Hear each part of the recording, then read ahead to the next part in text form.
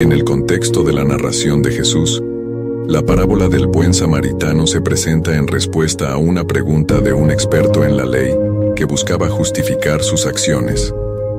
Queriendo poner a prueba a Jesús, le preguntó, ¿Y quién es mi prójimo? En ese momento las tensiones entre judíos y samaritanos eran evidentes, y la elección de un samaritano como héroe en la historia sorprendía a la audiencia. La trama de la parábola se centra en un hombre asaltado y abandonado al borde del camino, mientras que sacerdotes y levitas, representantes de la religión, pasan indiferentes. El héroe inesperado resulta ser un samaritano, quien, a pesar de las tensiones étnicas, muestra compasión, cuida al herido y paga por su atención médica.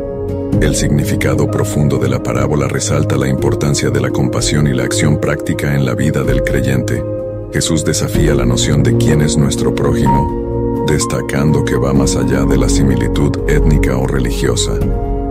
El mensaje reflexivo se centra en la responsabilidad individual de mostrar amor y compasión hacia todos, incluso aquellos a quienes culturalmente podríamos considerar diferentes o incluso adversarios.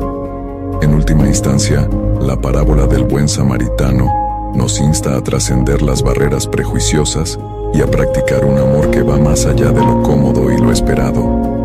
Nos desafía a ser prójimos compasivos, dispuestos a ayudar a quienes lo necesitan, independientemente de su origen o creencias.